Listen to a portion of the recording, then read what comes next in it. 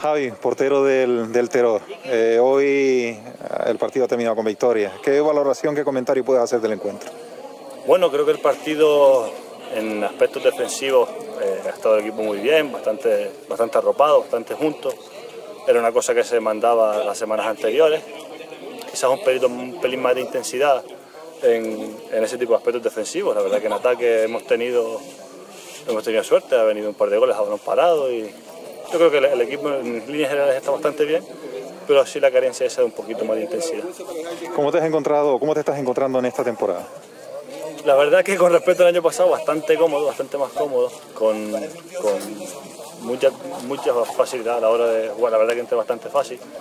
Y, hombre, siempre te esperas un poquito más, de, pues, piensas que puedes dar un poquito más, y para eso toda la semana, para trabajar el, trabajar los aspectos, que los errores que podamos tener y, y el viernes siguiente a, a, intentar no cometerlo.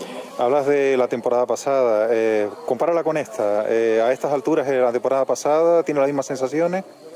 Eh, no, eh, en aspectos físicos la verdad que, que estamos... Que, en cuanto bueno, a la competición, en cuanto a la competición, a los rivales. El, yo creo que, sinceramente, a, a medida que van pasando los que va pasando el tiempo, el, el nivel va, mejor, va empeorando un poco. Y, pero bueno, la verdad que hay equipos que sí, que, que son intensos. Por ejemplo, el San Antonio es un equipo que viene bastante fuerte. Eh, Las Palmas siempre es un equipo que, te toca correr.